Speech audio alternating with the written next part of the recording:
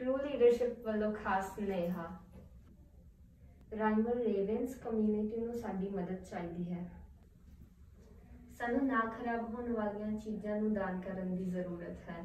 ਜਿਵੇਂ ਕਿ soup canned vegetables ਅਤੇ ਬੀਨਸ ਸੀਰੀਅਲ ਅਤੇ ਚੌਲ।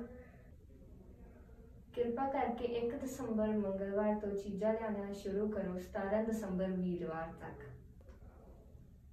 ਭੋਜਨ ਨੂੰ ਦਾਨ ਕਰਨ ਵਾਲੇ ਡੱਬੇ ਹਰ ਇੱਕ ਕਲਾਸ ਵਿੱਚ ਰੱਖੇ ਹੋਏ ਆ। ਜਿੰਨਾ ਜ਼ਿਆਦਾ ਭੋਜਨ ਲਿਆਉਂਗੇ ਉਨੇ ਜ਼ਿਆਦਾ ਮੌਕੇ ਤੁਹਾਡੇ ਇਨਾਮ ਨੂੰ ਜਿੱਤਣ ਦੇ ਹੋਣਗੇ। ਸੋ ਭੋਜਨ ਲਿਆਉਣਾ ਸ਼ੁਰੂ ਕਰ ਦਿਓ।